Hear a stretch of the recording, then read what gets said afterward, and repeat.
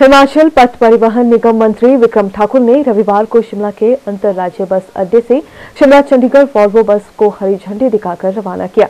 वहीं नए साल पर जनवरी के पहले हफ़्ते में शिमला से कटड़ा के लिए भी वॉल्वो बस सेवा शुरू करने की तैयारी की गई है। शिमला से बिलासपुर, घुमारवी, भोटा, हमीरपुर, कांगड़ा, पठानकोट से जम्मू होते हुए वॉल्वो कटड़ा पहुंचेगी। परिवहन मंत्री विक्रम ठाकुर ने शिमला के अंतर राज्य बस अड्डे से शिमला चंडीगढ़ वॉल्वो बस को हरी झंडी दिखाकर रवाना किया। हिमाचल पथ परिवहन निगम द्वारा इस नई पहल की खास बात यह है कि वॉल्वो के किराए में यात्रियों को पहले महीने में करीब 35 फ़ीसदी की छूट दी जाएगी।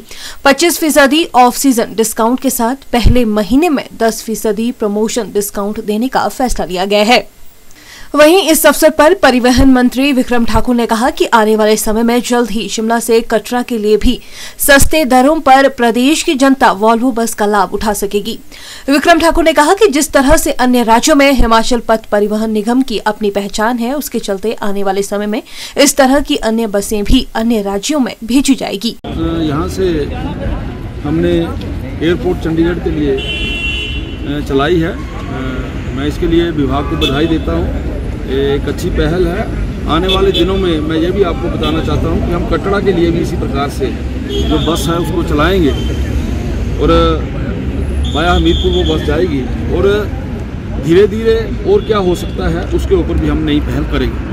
कंफर्ट अब ये जो वोल्वो के अंदर जिस प्रकार का, जिस प्रकार की फैसिलिटी होती है, ये आप ये कह सकते हैं कि लेटेस्ट मॉडर्नाइज वोल्वो है।